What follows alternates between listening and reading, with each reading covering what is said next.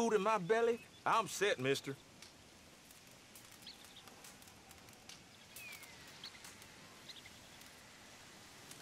Now let's just hope no one saw them posters.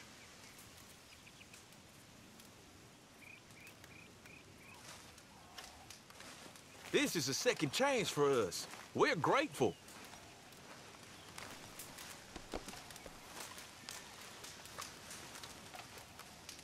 We ain't looking to buddy up with no one else.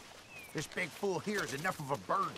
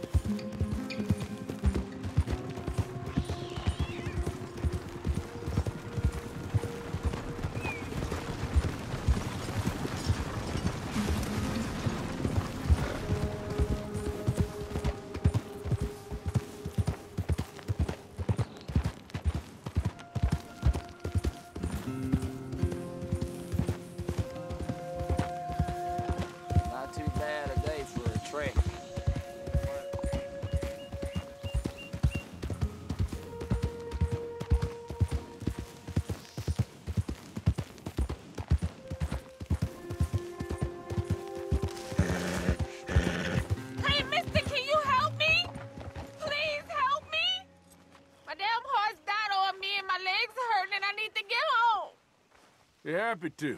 Get on. Oh, you kind, mister.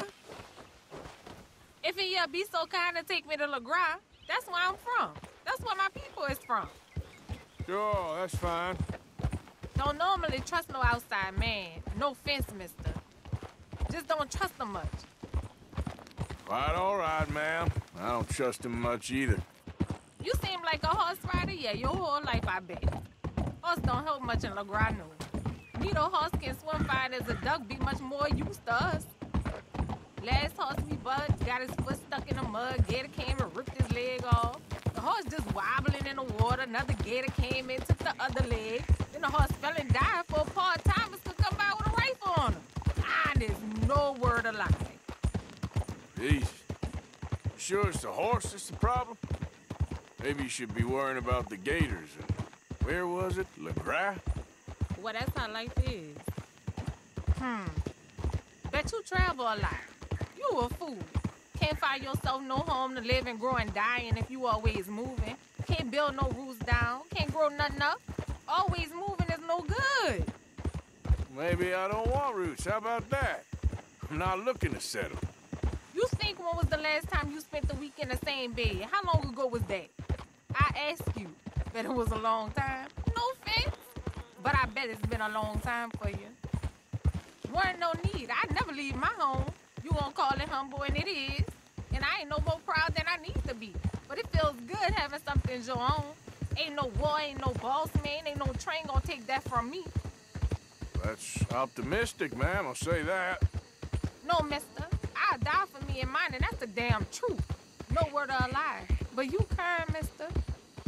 We getting close, don't dawdle now.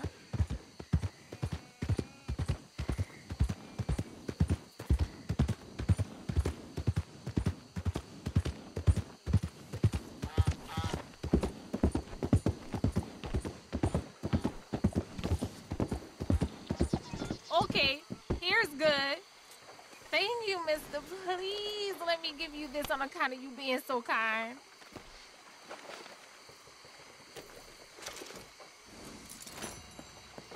Hope I never have to be on that horse again, dang animals.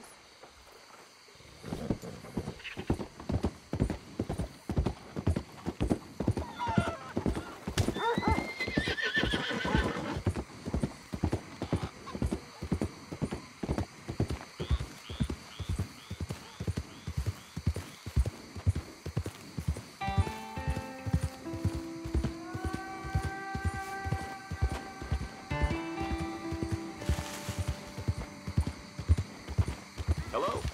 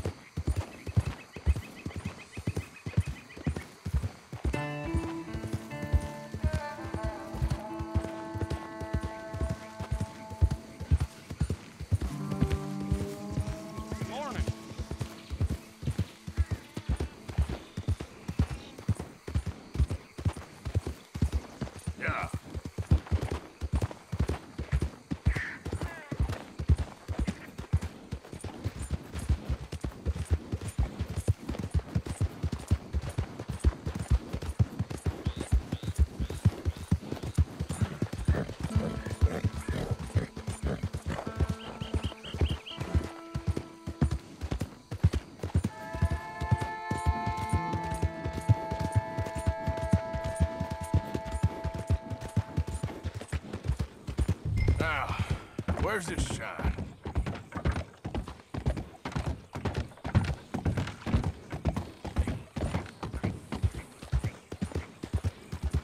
Whoa, easy. Who we got here?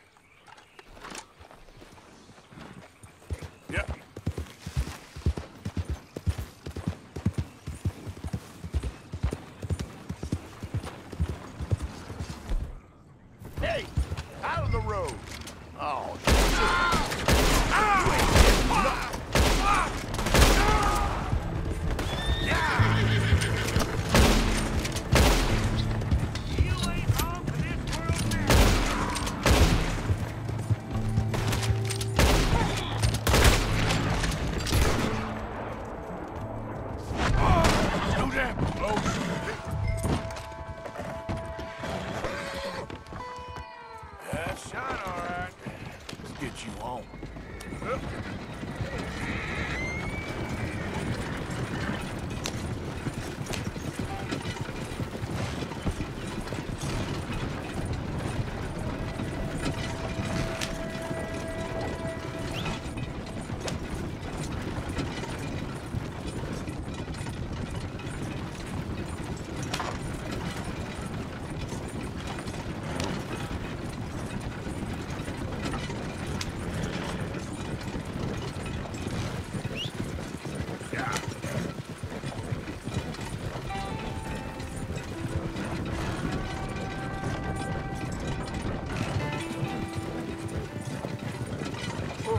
Boom!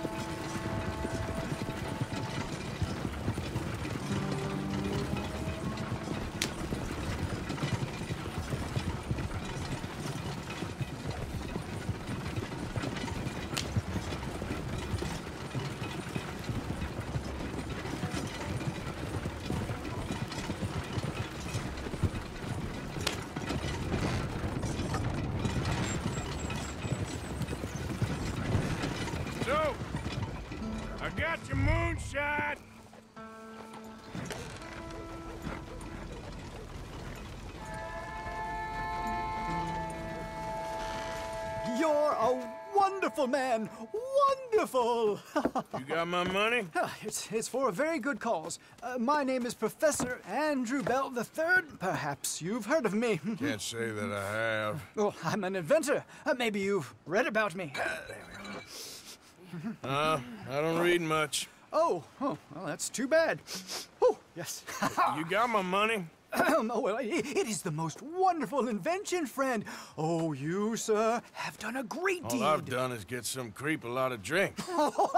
Creepers. Excellent. No nonsense. Now, you've helped me develop the most humane machine imaginable. A way to induce calmness to our most troubled souls. A way to end the barbarity of a public hanging. Oh, so, so humane. What are you talking about? The electric chair. What? See, it's a chair full of electricity. It's quite fascinating. It calmly and peacefully dispatches the sinners uh, to face judgment. Yes, judgment. Yeah. Where is it? Well, uh, it's in my laboratory. The next thing I need is a, a demonstration, a public one. Huh. Uh, do you know the police chief? Hmm? As well as anyone. Wonderful! Perhaps you can encourage him to let me demonstrate the chair. It will help bring this town into the next century. Yes, could you do that? Hmm?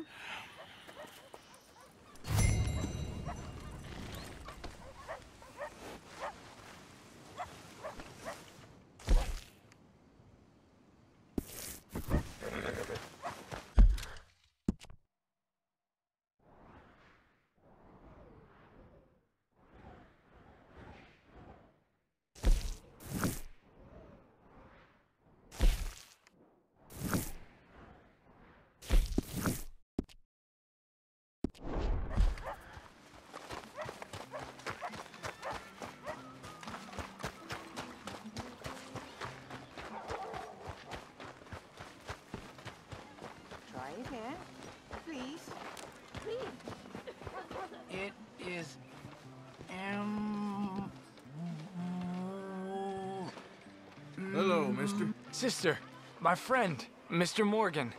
Oh, sir. Brother Dorkins told me about the wonderful thing you did. Oh, he talks a lot of nonsense. No offense. None taken, none taken at all. Hey, stop! These kids to the worst! Don't hurt him, please!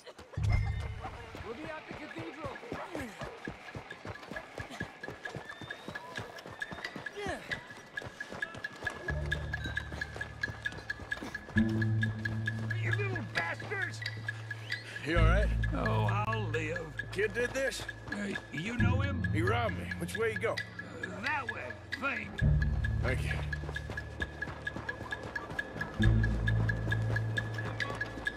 Get off me! Where's my watch, you little weasel? I don't know nothing about no. Hey, you! Why don't you leave the boy alone? What's it to do with you? I can hit a lot harder than you. I promise you that. All right, forget it. Little shit ain't even worth my time. Thanks, mister. No, no, it's a Hey, you want some company, mister? No. You sure? Hey, What? I don't know you. This is Downs? Oh, Not you. Get away. How? Now. I mean, uh, hey. Help! uh, Help! Hold on. This man is bothering Now- me. Someone help me. Officer, help!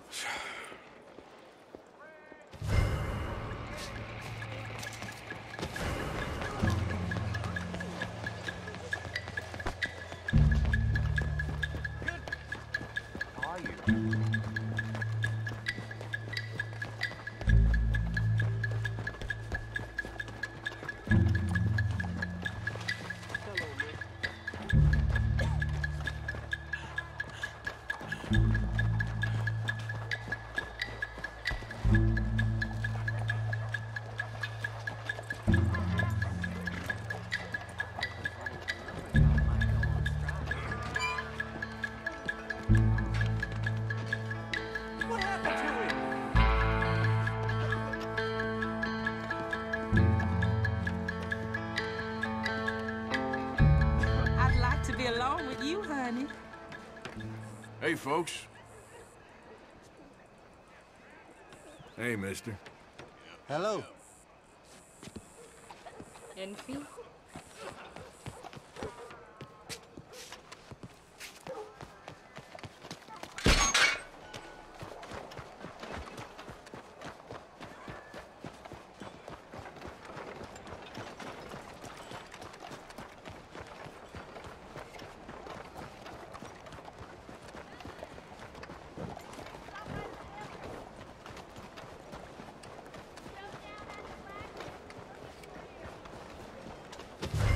Know you, you piece of shit.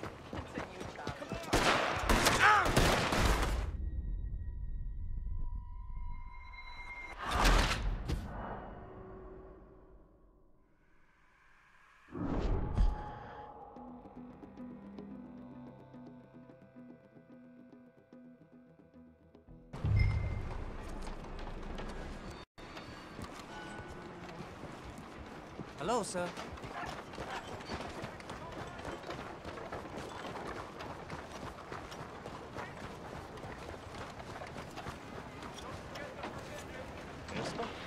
Don't think they were having in it. Better than getting wet.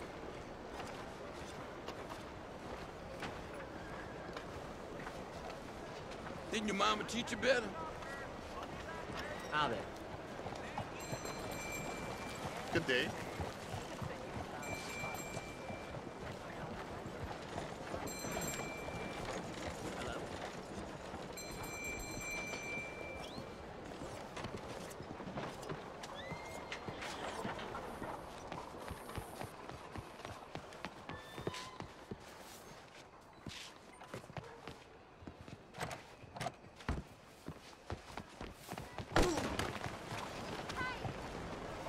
Should have moved.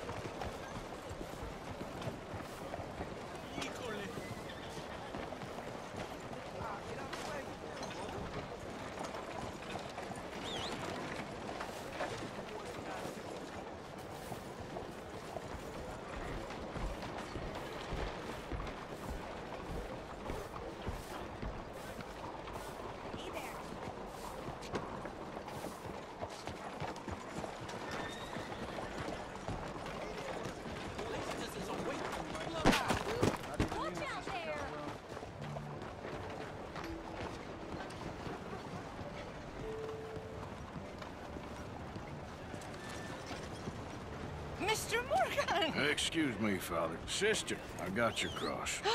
you didn't. No, I did. Oh, I hope the boy. Ah, he's fine, physically. Mentally, he's a piece of work, but who am I to say? Mm, Brother Dorkins was right about you. You are the most wonderful man. Brother Dorkins is greatly deceived, I'm afraid, but I'm happy to help a little. Thank you. You see, it's a thing, but my mother gave it to me when I was a novice, shortly before she passed. You are the most wonderful man. Oh, excuse me, Father. Sister, enjoy your day. See, Father?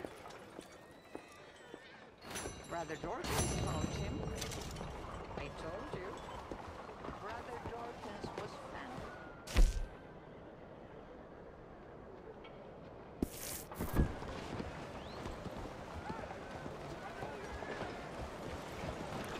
Hi, partner.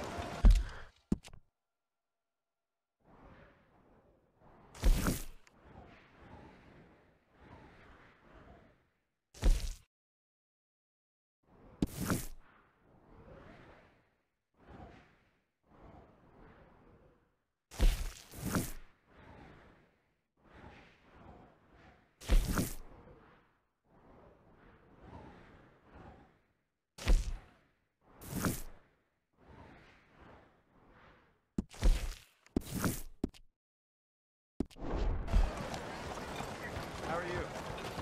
Playing on.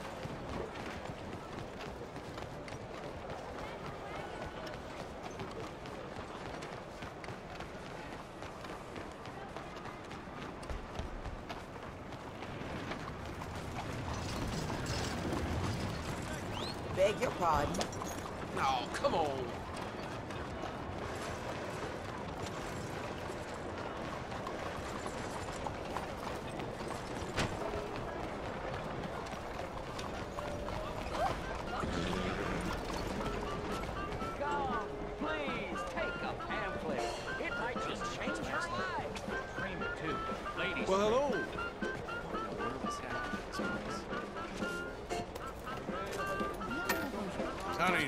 Please. The show will be behind in any of the doors beside the booth.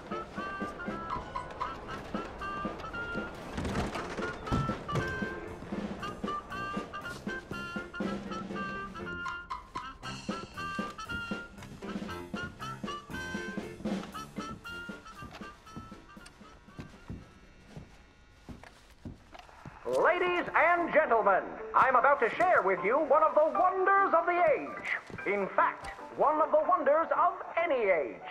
Aerial navigation, or as we call it, man flight.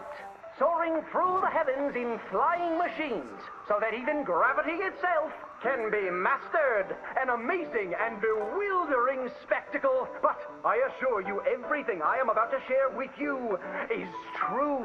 Now, we are all familiar with the potential cruelties and injustices of travel by horse, wagon, or locomotive. You are like to be beset upon by the infinite savagery of wicked men or bloodthirsty beasts that lurk in the bogs and plains of these tormented lands.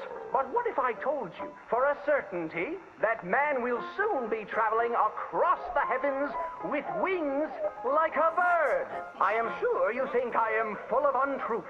But I have not drank a pint of liquor in over a year, and I will do my utmost to demonstrate the veracity of my claims. For a hundred years, steamboats have engaged in passage along our great rivers. But a man by the name of Cecil H. Peck is in the process of inventing a steamboat for the sky. The only limitation on its speed at which the porter can shovel on more coal. But parts of the country where coal is scarce, oars can be used in the skies to hasten your voyage and keep the passengers active while they travel. Near Pittsburgh, there lives a telegraph man named Aldous Kinnear, who each evening after supper retires to his barn and dons the wings of a giant creature and takes to the heavens. You will be delighted to know he has traveled considerable distances, as many as 45 miraculous feet. Unfortunately, on his record-breaking flight, he knocked over a lamp and was consumed by flames. His two boys, Percival and Charles, have promised to continue their dear pa's legacy of sky skyflight. A whole heap of men are fashioning contraptions to take us to the heavens.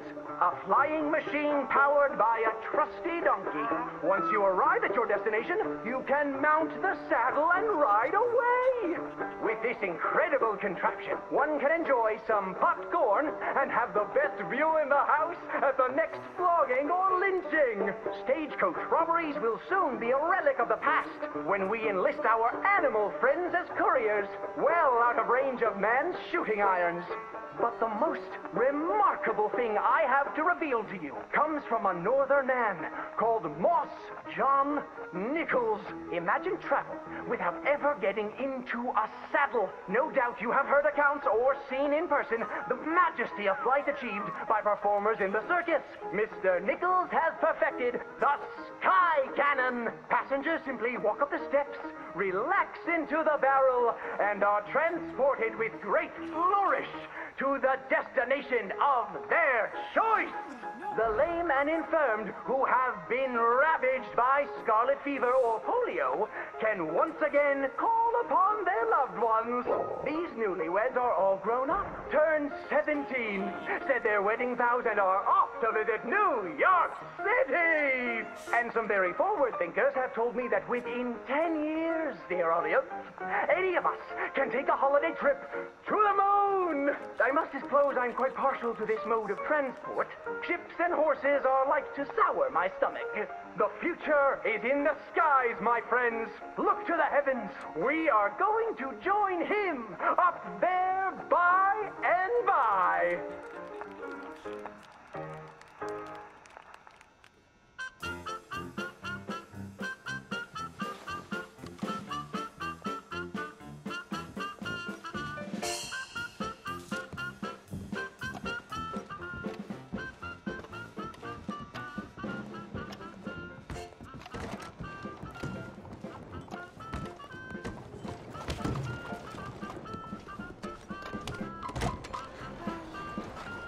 You had a nice time.